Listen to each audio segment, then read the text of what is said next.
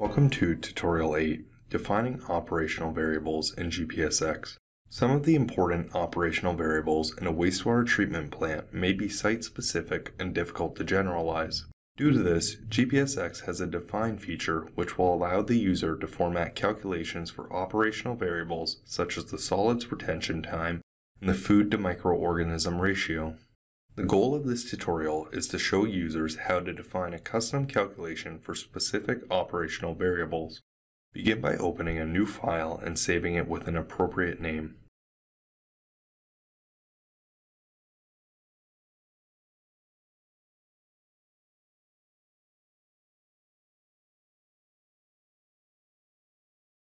Turn on the display grid by selecting Display Grid from the View drop-down menu. From the Influent Process group, add an Influent object to the drawing board. From the Flow Combiners and Splitters group in the Process table, add a Control Splitter and a Two-Flow Combiner to the drawing board.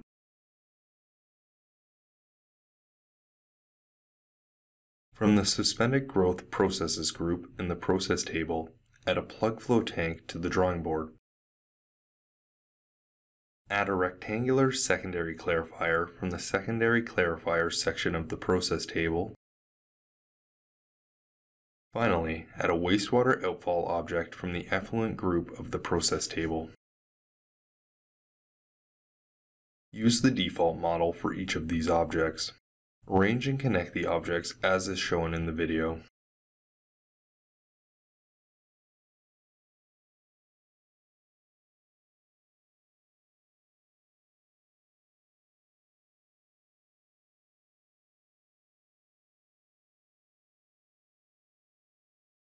After all the connections have been made, turn both the stream and object labels on using the Labels button on the main toolbar. Label the objects as shown in the video.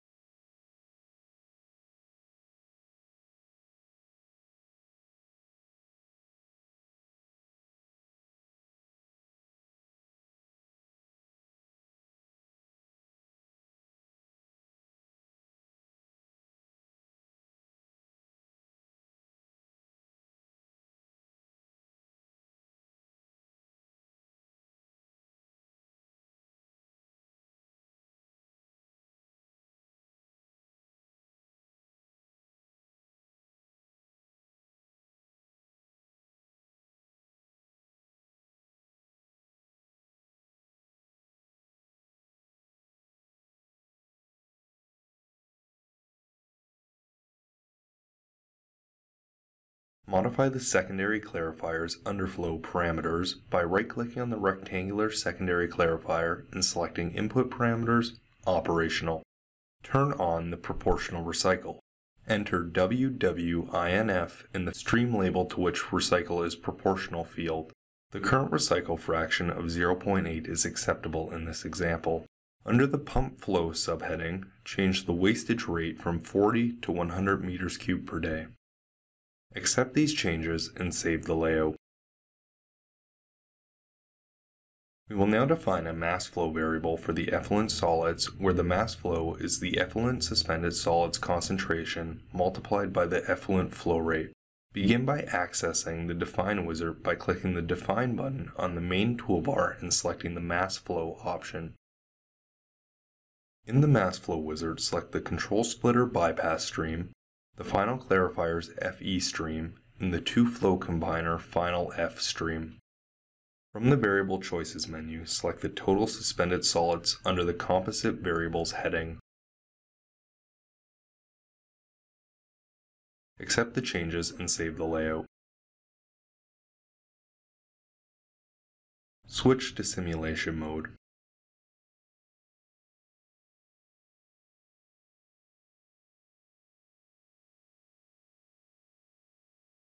We will now create an output graph for the newly defined mass flow variable. Right-click on the secondary clarifier effluent and select the Output Variables, Defined Variables, Mass Flow option. Drag the mass flow total suspended solids variable to a new output graph.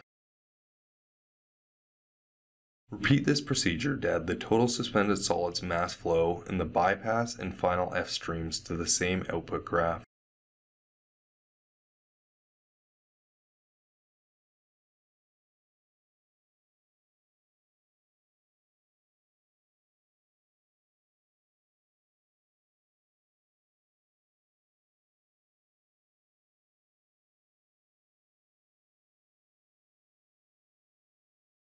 Modify the graph settings. Set the maximum value of the graph to 1000 kilograms per day and rename this plot appropriately.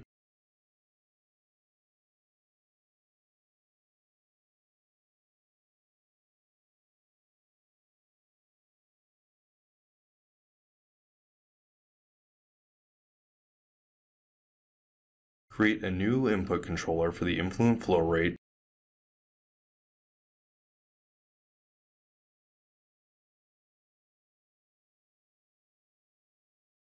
Auto-arrange the graph and run a 20-day dynamic simulation. Increase the influent flow rate using the input controller while the simulation is running and notice that beyond an influent flow rate of 2000 meters cubed per day, that the control splitter is activated and some of the influent flow begins to be bypassed. Adjust the bypass flow limit by increasing the pump flow rate of the control splitter object. To avoid the need to recompile the model, make this change in a scenario or with an input controller.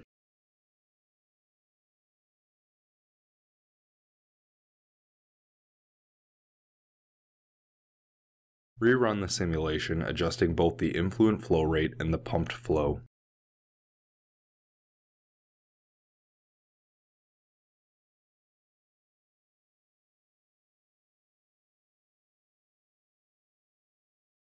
Save the layout. We will now calculate the solids retention time in the system. Switch to modeling mode. Click on the Define button and select the solids retention time to open the SRT Manager window. Create a new SRT variable. Enter the name tank. Note that GPSX automatically prepends SRT to the variable name, so it will be called SRT tank. Accept the name and a new blank SRT equation will be shown. The SRT equation is broken into two parts, mass and mass flow. The numerator of the SRT equation is the mass section, which is defined as the mass of solids held in each tank. Typically, SRT calculations only include the mass of solids held in the aeration basin, but it is also possible to calculate SRT by summing the mass in the aeration basin and the final clarifier.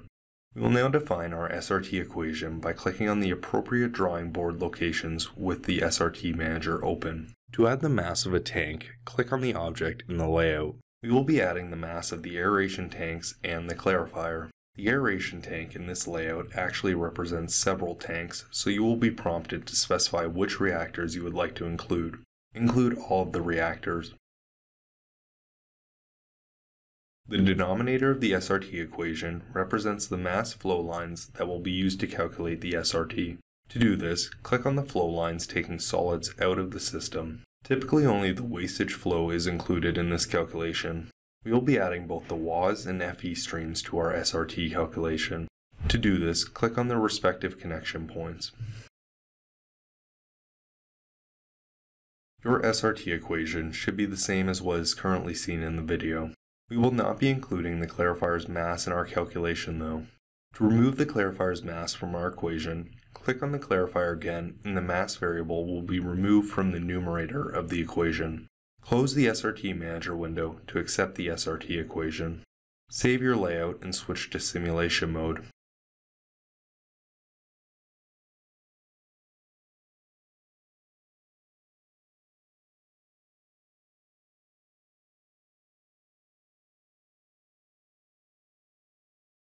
Create a new graph with the SRT variable. To do this, open the SRT Manager from the Define menu to view the SRT variables and equations that you have defined. Drag the SRT tank variable to a new graph tab. Set the maximum graph value to 30 days and change the title to SRT.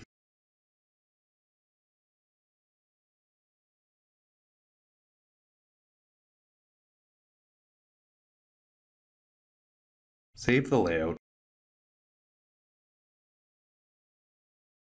You can view the effect that changing the amount of solids being wasted out of the system has on the SRT by creating an input controller for the pump flow. This is accessed in the secondary clarifier's input parameters operational menu.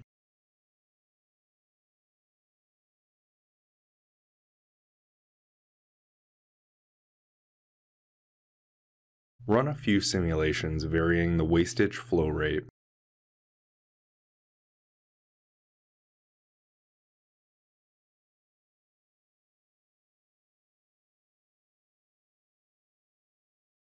We will now look at how you can define average calculations in GPSX.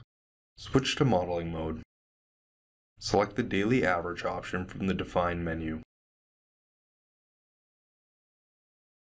Averages can also be applied to user-defined variables like mass flows, SRT, and food to microorganism ratios. We will be applying an average calculation to the mass flow in the discharge stream we defined previously.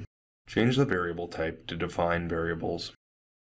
We'd like to define our average on the mass flow total suspended solids found under the two flow combiner final F mass flow option. Press accept to create a daily average calculation on the mass flow of suspended solids in the final F stream. Following the same method, define a moving average for the mass flow total suspended solids in the final F stream.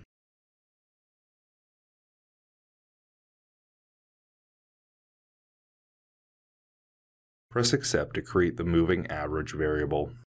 Switch to simulation mode. Rebuild the model when prompted.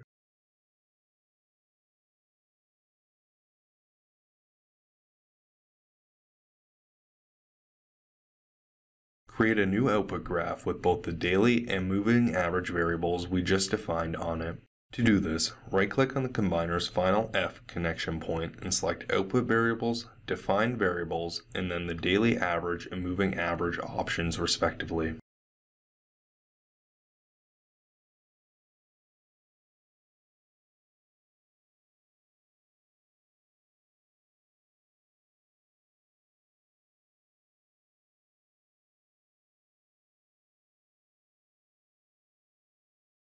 Notice in the moving average form that a number appears to the right of the variable name. These are the number of days that are used in the moving average calculation and can be changed in modeling mode.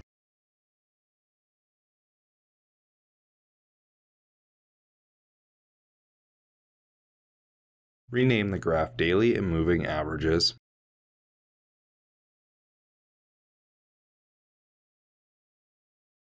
Set the maximum value in the graph to 1000 kilograms per day for both variables. Run the simulation adjusting the influent flow rate to observe the effect it has on the average values.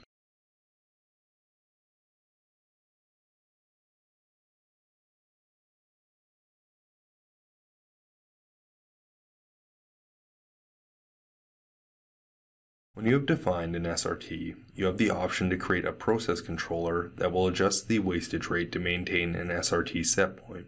Switch to modeling mode. Open the SRT Manager window and select the SRT tank variable. Click on the Estimate WAS using Set SRT option. We will use the default controller settings in this example, but you can choose which wastage flow rate will be used to control the SRT, set the desired SRT, and define the minimum and maximum wastage rates. Switch to simulation mode. Rebuild the model when prompted.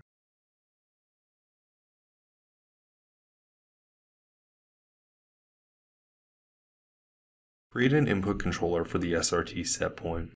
To do this, open the SRT Manager and drag the SRT setpoint to the Input Controller tab.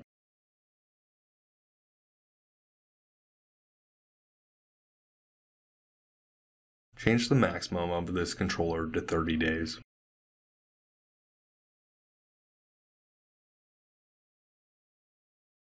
Create a new output graph on the same output tab as the SRT graph for the WAS flow rate.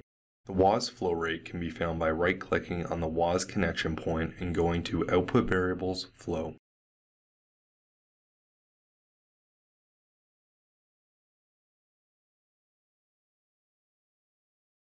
Rename the plot WAS flow and set the maximum value to 500 meters cubed per day.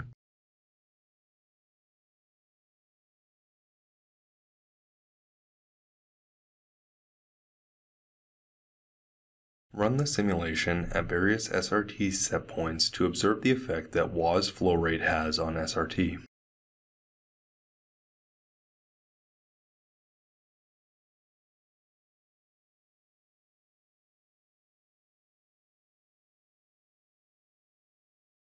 Save the layout.